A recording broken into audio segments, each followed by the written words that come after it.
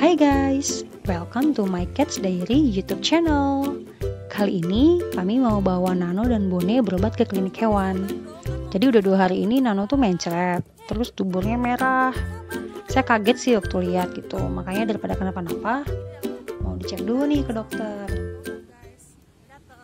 Nano lagi diperiksa. Ini dia si Nano lagi diperiksa.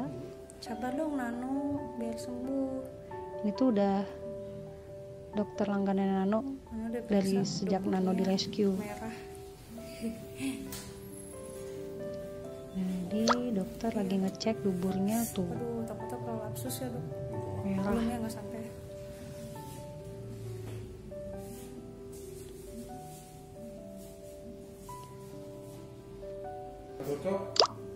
Dokter ngambil suhu dulu, ngukur suhu.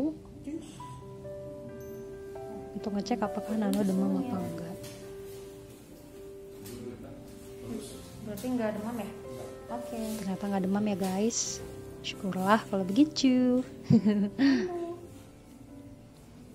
Si penyayang.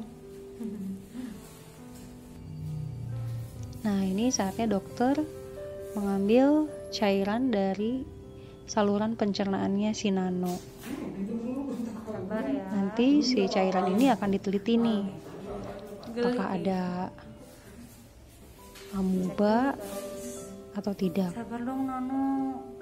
Kan biar kamu sembuh. Nah, hasilnya tuh ternyata eh, di dalam saluran pencerna pencernaannya Nano itu banyak amuba, guys. Gitu. Itu bisa berasal dari mana aja sih? Dari air kotor, dari nangkep-nangkep tikus, banyak hal karena Nano ini kan kucing outdoor. Sini dokter menyuntikkan obat anti amuba. Nano dikasih anti amuba. Siap-siap ya dok, dia soalnya gempa jadi takut tenaganya gede banget.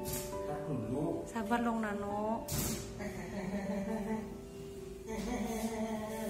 Biar sembuh Nano.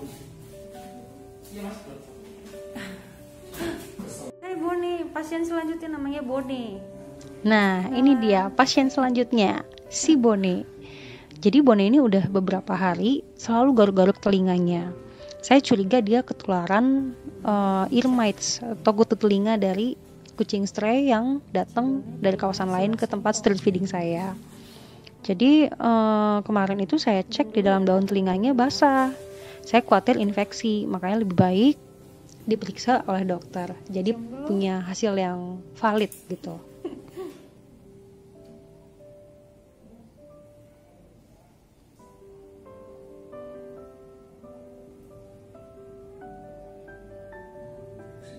Infeksi ya? Ada kutu telinga juga. Kelihatannya awalnya dari situ, dari kutu telinga. Dari kutu telinga lalu digaruk jadi infeksi gitu ya? Hmm, enggak. Apa infeksi dari kutu telinganya? Iya, awalnya itu terus bakterinya over. Aduh.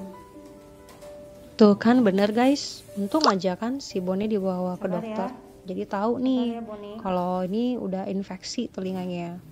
Di satu sisi kadang saya pengen sih ngasih obat sendiri gitu, cuman kadang-kadang saya takut obat yang saya gunakan ini udah tepat belum sih? Jangan-jangan eh, obatnya nggak cocok gitu. Memang salah satu kelebihan kalau kita pergi ke klinik adalah Oh iya, kita tahu hasil yang valid dari ahlinya sendiri. yang lain. Cuman masih hanya bersin-bersin gitu.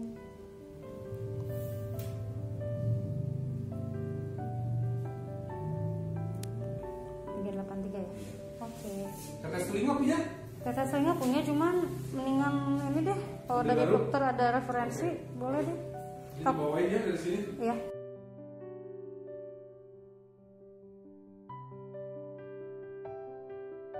Itu dibawain sehari dua kali, dua-duanya ya. Iya. Dua-duanya soalnya sini ada kutu telinga juga. Oke. Itu dia eh, ada nggak dok yang nggak pedih? Eh, pasti pasti agak perih sih. Akan perih ya? Iya. Kaget sebenarnya. Oh, karena dingin ya? Iya, betul. Oh, oke. Moni. Hai guys.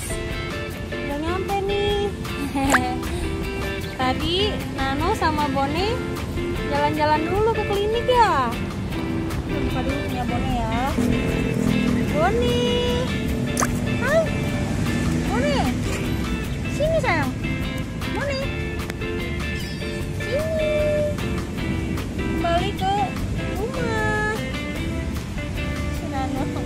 udah beli apa namanya makanan untuk Nano.